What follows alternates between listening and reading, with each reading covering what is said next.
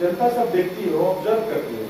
क्या लगता है इसका असर जनता पे नहीं पड़ेगा? बिल्कुल, जनता देखती है, जनता ऑब्ज़र्व करती है। अब जनता समय पर वोट दे करके किसके पक्ष में और किसके खिलाफ में है, वो अपना मत से बताने का काम करती है।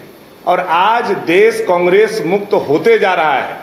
यह साबित करता है कि कांग्रेस के खिलाफ पूरे जनता में आक्रोश है, जिन्होंने 60 साल तक इस देश को लूटा, एक परिवार ने।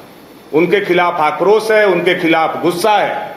और उसी का नतीजा है कि ये लोग इस तूफ़ान में कहीं दूर दूर तक नज़र नहीं आ रहे हैं। आप देखिए ना, हम लोगों ने आज 22 दिन हो गए, अपने 21 उम्मीदवारों को घोषणा कर दिया।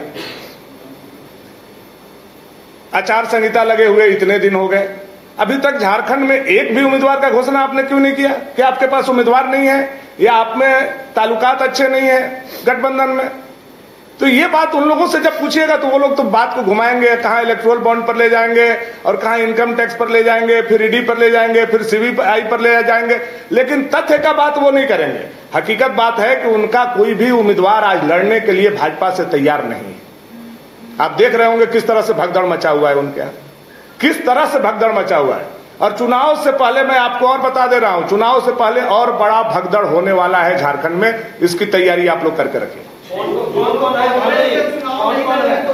अभी तो देखिए, हम तो डोज देते हैं इरफान अंसारी को तो दो महीना चुप रहते हैं।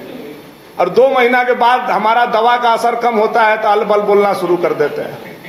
फिर मुझे लगता है उनको डोज देने का समय आ गया है बगल में जो आपके जस्ट बगल में बैठते थे वही छोड़ के चले गए। नहीं देखिए वो तो मैंने बताया कि एक महत्वाकांक्षा होता है एक अति महत्वाकांक्षा होता है। हमारे मित्र अति महत्वाकांक्षा के शिकार हुए हैं और कांग्रेस जब उनको दुत्कार करके भगाएगी तो यही प्लेटफॉर्म होगा यही स्थान है जहाँ हम और वो एक साथ ज्वाइन किए थे। वो आज गए हैं फिर उनको लौट करके यहीं आना पड़ेगा दूसरा कोई ठिकाना उनका महत्वाकांक्षी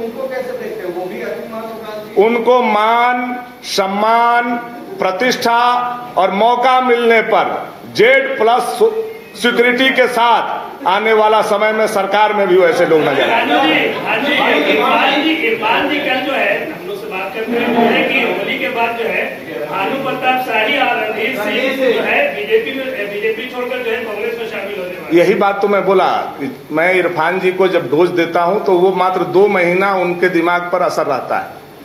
मैंने बोला था कि मेन रोड में आतंकवादी गतिविधि चलाने वाले लोगों के घर पर बुलडोजर चलेगा। दो महीना चुप थे। अब दो महीना कल पूरा हो गया फिर बोलना शुरू किया। ऐसा ऐसा कुछ है क्या बोल रहे कि जेपी पटेल के बाद जो है आप जेपी पटेल के बाद जो है आप जो बीजेपी में अभी खुश नहीं है और कांग्रेस में जाने वाले ऐसी बातचीत कर रहे अब है? इरफान को आप लोग इतना नोटिस कर रहे हैं तो कुछ दिन में फिर पत्रकार लोग आपको नोटिस नहीं करेंगे।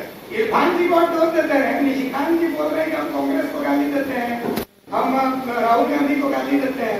लेकिन दो देखिए बातों को तोड़ मरोड़ करके पेश करना बहुत आसान है। तो सकते निशिकांत दुबे जी का कहना बिल्कुल ये नहीं था। आप उसको सुनिए आप उसको समझिए किस परिप्रेक्ष्य में उन्होंने क्या कहा। एक मंत्री ने डाक बंगला चौक पर उतना बड़ा करोड़ों करोड़ का प्रॉपर्टी लिया। इस विषय में उन्होंने अपने बात को रखा। उसको नाम ले लीजिए बहुत खुलकर के बोलते हैं आप अरे, जब निशिकांत जी ने बता दिया तो मुझे नाम लेने की क्या ज़रूरत है?